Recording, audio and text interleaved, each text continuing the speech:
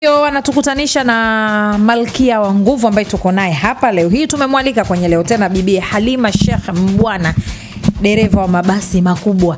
Hapa nazungumza naye kwa sababu naangalia hapa wakati gari ndo linafika Dar es Salaam Tanzania. Hapa naomba uingie sasa hivi, wewe ambao unasikiliza leo tena kwenye akaunti yangu ya Instagram ambao ni Dahu Official, uweze kumwona bibi Halima tunayezungumza naye, alafu uone hilo gari analolisukuma. Leo umeshamposti huko kwako pia? Mm, bado. Mwijaku Mwijaku kwani ehe. iko wapi?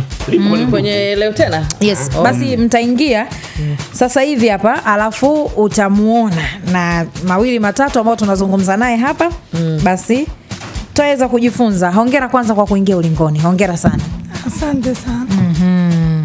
Manake kazi unayofanya ni kubwa sana, kazi ambayo zamani tulikuwa tukisikia ikifanywa na wanaume tu wanaendesha magari makubwa na vitu kama hivyo, lakini leo hii tunaona mwanamke anatoka Dar es Salaam mpaka Tunduru.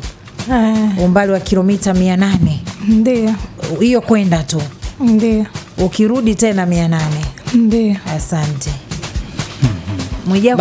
Nguvu kaingia ulingoni. Mwijaku hawezi, akifika ube zomozi uno tu, kichomi. Eh, kumbuka? Manyo. Sio magari yetu haya. Ah, Anatumia umeonyesha automatic. manyo. Eh, acheni mapopolo mlizoea. Okay. Manyo. Manyo. Tuipate historia yako kwa ufupi Halima, kabla hatujafikia hapa ambapo leo hii upo. Historia yangu kwa ufupi, nilianza kuwa kondakta wa mabasi ya Newala Dar es Salaam. Baada ya Wapi hiyo sasa? Newala Dar es Salaam, mkoa wa Mtwara, Mkoa wa Mtwara. Ehe. wilaya ya Newala. Ehe. Baada ya muda kampuni ilikufa, nikahamia Manning Nice, nikahamia Hamanjo nikawa naenda da Tunduru kama kondakta mm. lakini pia na yenyewe kampuni ilifungi, ilifungwa, yani mwenyewe mkurugenzi aliifunga, bado magari yapo, ila ameyafungia tu yadi. mm. Ndipo nikaomba maombi ya kazi kwenye Maningnaisi mm. nikaanza kazi da, baada ya kama miaka mitano sita baada ya kufanya kazi kilichonifanya hasa mpaka nikaenda shule nilipata kufiwa na dereva wangu. Make una mnatembea wawili wawili dereva na kondakta. Kwa hiyo dereva wangu kwanza mwanzo alikuwa ni mtu wa kunywa yale maeneji sana. Mm. kwa hiyo kwa bahati yani kwa siku anakunywa mpaka kumi wakati na wenyewe wameshasema ni moja tu kwa siku. mm. kwa hiyo siku moja tukapata basti teria teriazi, alivyoingia chini kule na zile energy amekunywa nyingi kwa haraka aka yani kama amestroke akapoteza fahamu pale, wakamchukua wakampeleka Muhimbili na ambulensi ilikuwa tuko Ikwiriri. Baada ya kufika Muhimbili siku ya pili akafariki. Kwa hiyo nikaongea na mkurugenzi niende shule ile gari niwe mimi sasa dereva, kwa sababu tayari nilikuwa dereva, ila nilikuwa bado sija control kwa mm. kupata leseni ambayo ina seaplane. Nilikuwa na leseni yenye daraja E Ndio. ndipo nikaenda shule NIT nikasoma wiki mbili na ninamshukuru Mungu nikapasi nikapewa nini ile kuna visa unapewa ambayo unatembea nayo mm. baada ya muda nikapigiwa simu vyetu vimetoka nikaenda nikapandisha daraja leseni ile ile basi nikakabidhiwa ndio ambayo mpaka leo ninayo mm. Mm. Hiyo ndio Ndio sababu. Na kwenye, kwenye, kwenye nafasi hiyo ya kuwa kama kondakta ulikaa kwa muda gani nafasi hiyo? Ukijumlisha magari yote hayo tofauti ambao ulipitia, ukijumlisha unaweza ukapata kama miaka mingapi ulikaa kwenye nafasi hiyo? nafasi ya kondakta kama miaka kumi bado hapo ulikuwa ukiniambia miaka kumi na nikutazana mdogo, mdogo sana, eh. Eh. Kama miaka mingapi? yaani nimeingia kwenye zile kazi na miaka kama kumi na sita kumi na saba kumi na sita, kumi na saba ni mapema sana hapo. Ina maana form 4 ulikuwa hujamaliza au tayari umeshamaliza? Mimi umeshamaliza? sijasoma kabisa nimeishia la saba Mm, niliishia la saba alafu nikaozeshwa na babangu Mm. unajua si watu wa kenya Mm. kwa hiyo kusoma hakukuwa na kipaumbele sana Mm. nilivyofaulu babangu akasema sisi wameshagi watoto wa kike Mm. nikapelekwa kwa mume Mm. nikazaa mtoto wangu wa kwanza lakini sasa hivi naye pia akaolewa leo umepata mila za babako Hapana, amekataa mwenyewe. Nilijitahidi kumsomesha ila mwenyewe hakutaka, alisema hataki kusoma, Okay. kwa hiyo nimemwozesha. Mtoto wa pili? Mtoto wa pili yuko darasa la tatu. na watatu yuko nasari okay Ndio. Sawa Kaingia ukingoni, malkia wa nguvu. ukiwa mdogo kabisa. Kabisa. Baada ya kushamiri kwenye kazi hiyo kaingia tena ulingoni kujifundisha udereva. Mm. na sasa hivi ndo upo katika hilo basi sasa dar es salaam tunduru. Ndio. Kilomita mia nane. Ndio. Kwenda kilomita 800 kurudi mia nane. Kilomita- una Na muda gani sasa hivi? Nina muda gani tangu nimeanza hiyo kazi? Mm. udereva au mwaka wa pili? Udereva huu ni mwaka wa pili. Ndio unaendaga unarudi au mnalala kwanza? Nalala. Ah, kule mbali eh? siku ya pili na ni masaa kumi na mbili.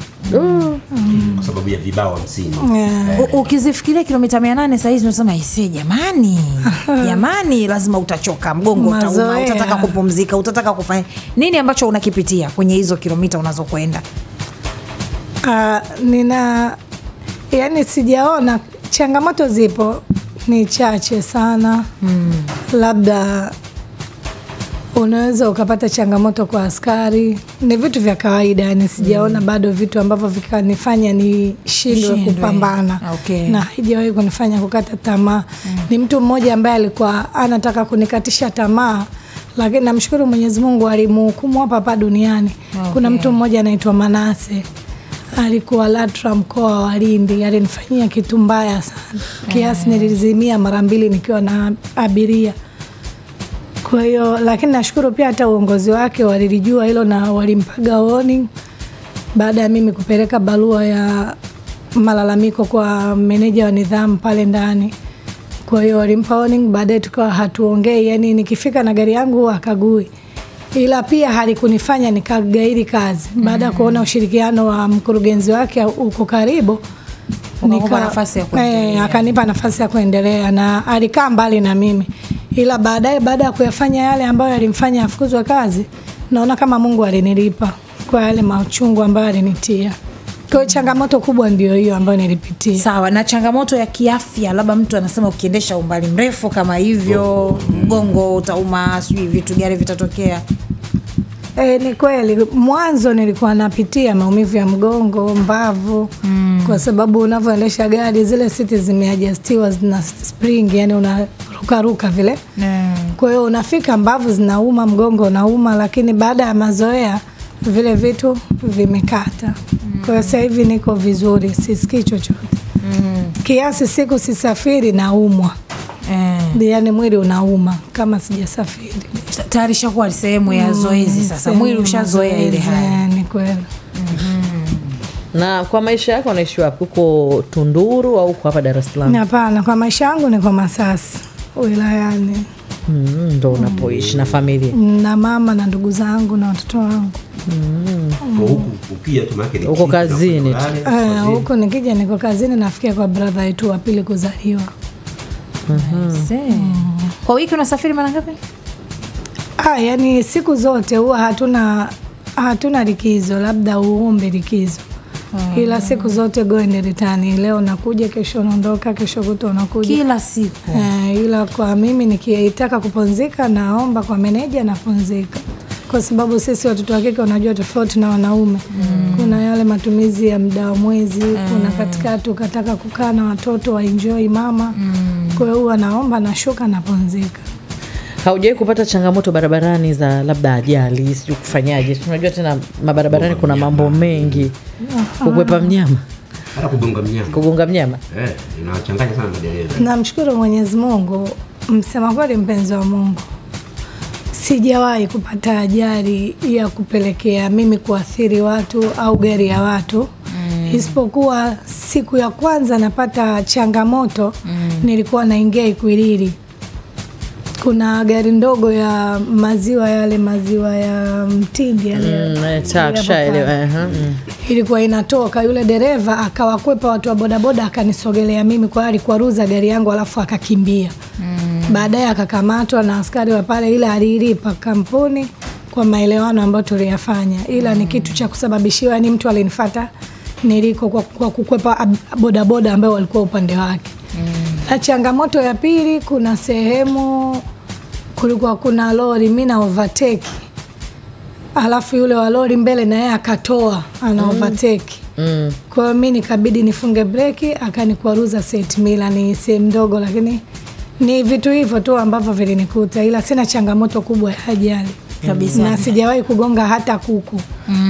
malkia wa nguvu. malkia wa nguvu. Na inshallah Mwenyezi Mungu ataendelea kufanyia wepesi. Mm. haitotokea ajali hata siku moja na aina nyingi abiria wanavyokopo kwenye, kwenye magari bwana dereva akiwa anaendesha maki mpaka traffic wameweka zile namba zile ukiona anazidi mm. piga mm. simu tushazoea mm. madereva wanaume ndo ana hizo ile mimi naamini sisi hatuna hizo au labda kuna wakati barabara inakuruhusu unajikuta tu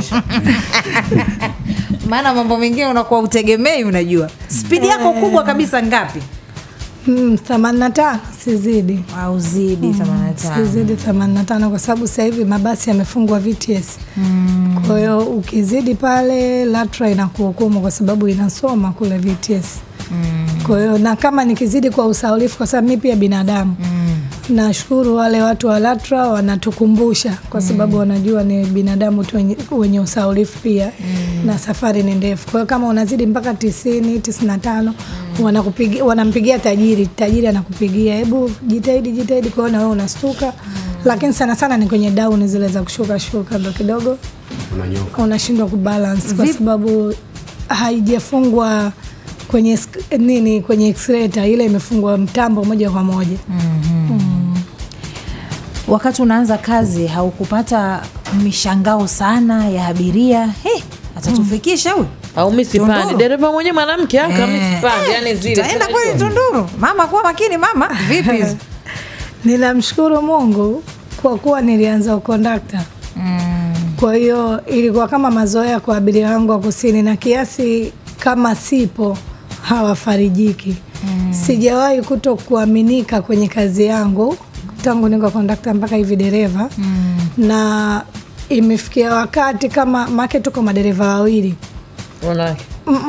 Ah, kwenye hiyo gari mnafanya Eh, kazi. ni kwa sababu lazima moyo wawili kwa kilomita nyingi. Mm. kwa hiyo pale ninapokuwa nimechoka labda nimwachie ule dereva wa pili abiria wanaleta complain hawataki. Wanahitaji mimi nirudi kwenye steering. Kuna siku walishakataa kabisa mpaka wakamtoa yule mzee wakasema tunamtaka dada Halima. Mm. kwa hiyo ikabidi hata kama nimechoka niendeshe gari lakini bado nilikuwa makini mm. kwa kuwa nawaridhisha na kile wanachokihitaji. Kwa hiyo changamoto ya kushangaliwa ipo kwa, kama vile unajua kusini ndio mwanamke wa kwanza mimi kuendesha basi. Mm. wanashangaa wote wanaume wanawake baadhi ya maskari siku za kwanza. Mm. lakini sasa hivi wamenizoea. Unakuzoea una, unaamsha saa ngapi saa kumi na moja kamili naamka naenda temeke natoka saa kumi na mbili kamili. Saa kumi na mbili gari ndo inatoka? Ndio. unafika tunduru saa ngapi? Saa kumi na mbili kamili pia. Jioni? Ndio masaa kumi na mbili. Unalala? Mm. kesho asubuhi unamsha tena kurudi? Eh, kesho asubuhi nageuka tena kumi na mbili kamili mpaka kumi na mbili kamili. Ni time ya chachando la leo ambayo chachandu hili tumempa nafasi malkia wa nguvu tuliokuwa naye hapa. Achague leo hii kwenye upande wa tarabu kwa sababu tunajua tarabu ni burudani ambayo unaifahamu sana tu. Ukiangalia unapotoka huko mombasa mombasa sijui kenya kenya sijui yani yote umechanganya. Nataka kujua kwamba kwenye gari inalia. Ya Tunduru wewe sasa. Nalia. Nasikiliza sikiliza nyimbo kwa ajili ya kuliwaza liwaza watu na vitu kama hivyo. Time ya chachandu la leo utakwenda kulisikiliza hilo baadaye baada ya kumaliza kuzungumza na malkia nguvu. Lakini tunapewa nguvu na dr rahabu alsas habo clinic ambao wapo kwa ajili ya tatizo la vidonda vya tumbo kupitia dawa ya asili ambayo inafahamika kama fiterawa.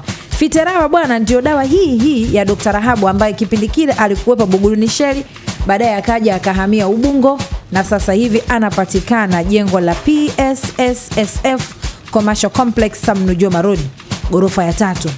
Na unaweza ukawasiliana naye yeye mwenyewe dr rahabu rubago kwa namba ambazo nakutajia 0754 41 11 19 hii bwana utampigia yeye mwenyewe na utampata yeye mwenyewe.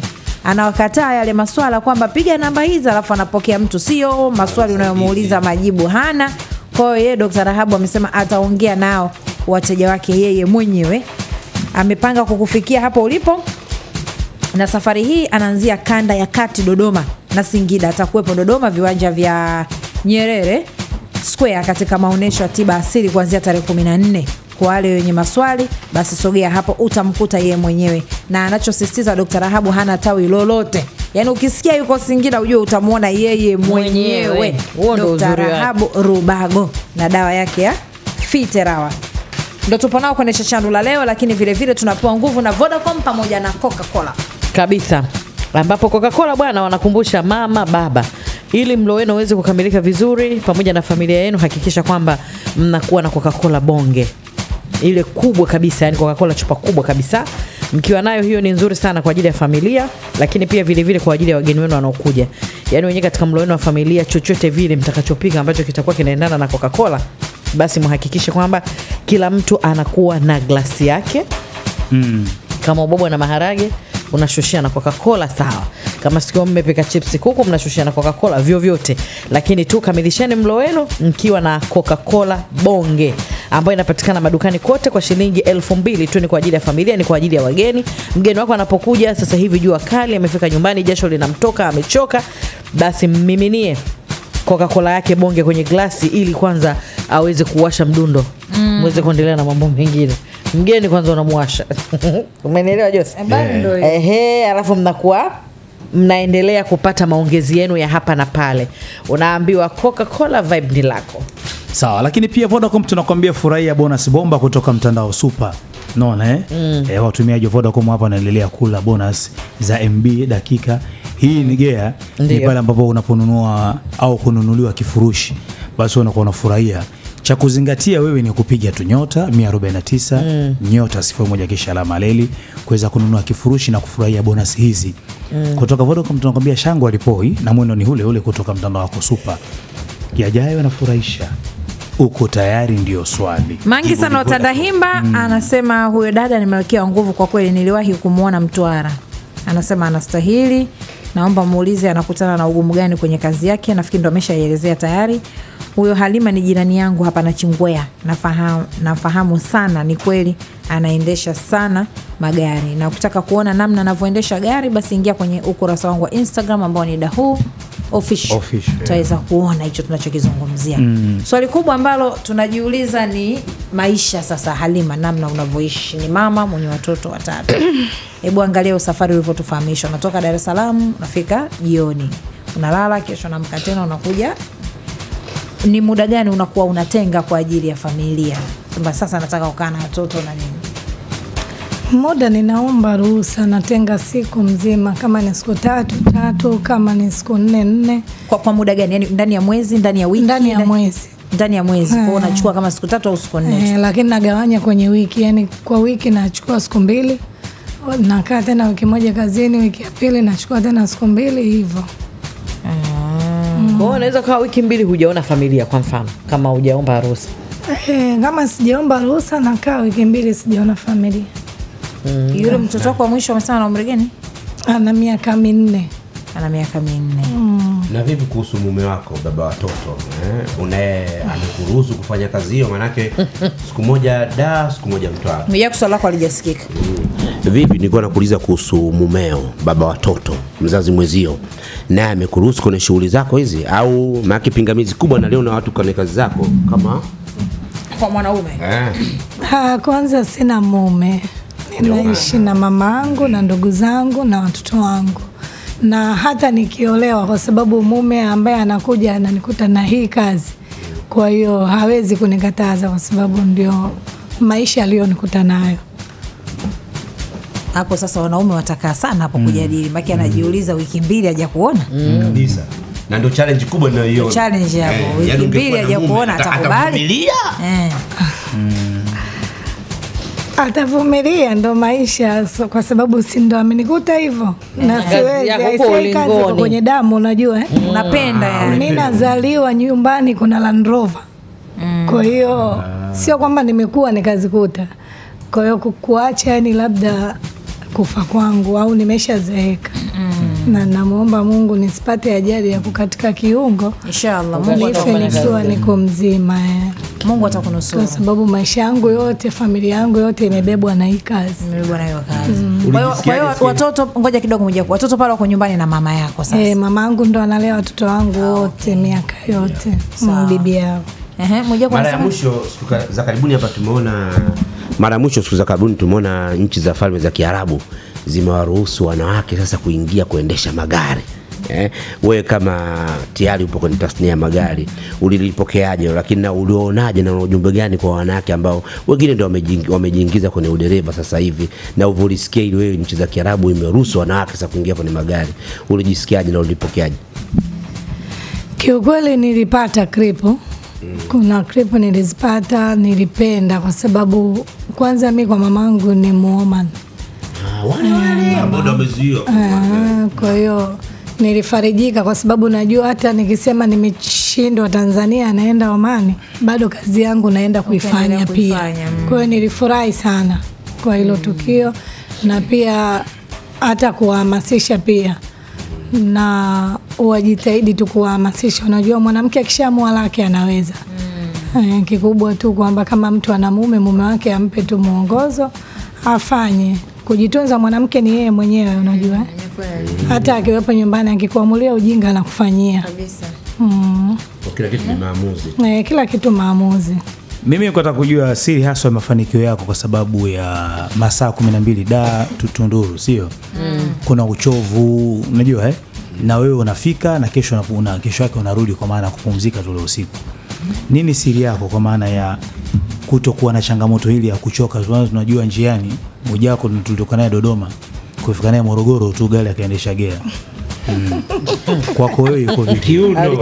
kinamuma Eh, ni kweli yaani kama nilivyotoka kuongea awali mazoea eh? Ah, okay. Mwijaku ashazoea kukaa kwenye maiki mm. Kwa hiyo safari zake mara moja moja, na anaposafiri anajua kwamba leo nasafiri, kwa hiyo anajipanga kisafari, ila bado mwili unakuwa hauna mazoea na gari yeah, okay. ila mimi nimezoea. Kwa hiyo vyovyote ilivyo, nisipo nisipofanya, yani siku nikisema sijaamka naumwa, ise nalala ndani naumwa lakini umeshazoea mwili kutembeza chuma, yani nimeshazoea mazingira hayo. no. Kwa hiyo sina shida yoyote na siathiriki na chochote, namshukuru Mungu.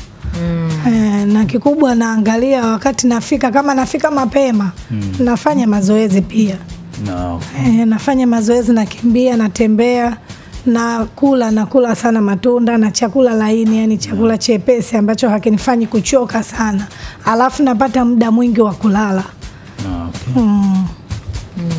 napumzika napumzika sana Sawa. labda saa mbili niko kitandani. ulivyokuwa kwenye ukondakta ukaja ukatokea kwenye udereva hapo vipi umefika au unataka tena kuingia ulingoni kukamilisha ndoto nyingine iliyokuwa mbele yako Ndoto yangu sasa hivi natamani kuendesha ndege, mashallah yani nimetamani na ninapenda sana. Kwa hiyo namuomba tu Mungu niendelee, alafu baadaye, kwa sababu hata huu dereva nilitamani nikapenda, na Mungu akanifanyia wepesi. mm. Kwa hiyo natamani niendeshe ndege ya Tanzania.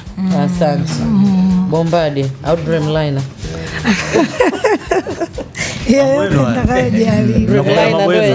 kurusha chombo hewani eh. kwa hiyo lazima uingie tena ulingoni unajua eh?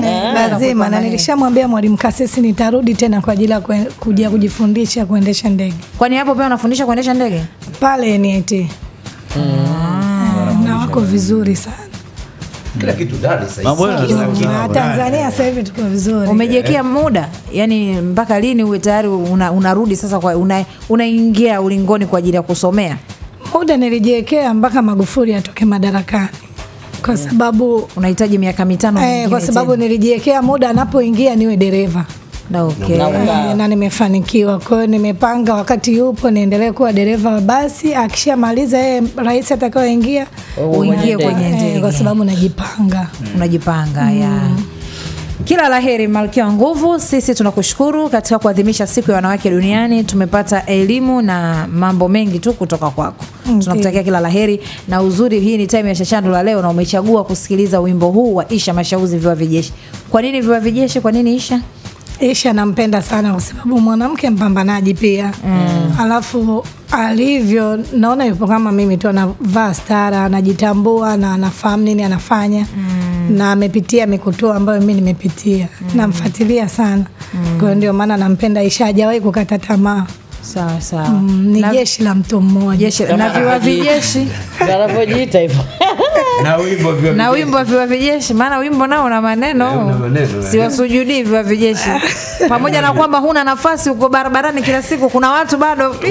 Ujumbe. wanaleta maneno. Eh. sana wengi tena katika watu ambao wanasakamwa. Ni mimi, lakini sema nimepewa ule moyo wa kusahau na kusamehe.